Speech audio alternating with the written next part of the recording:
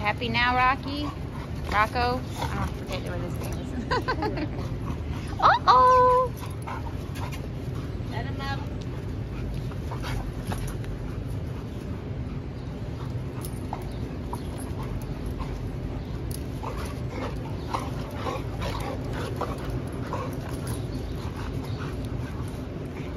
Thank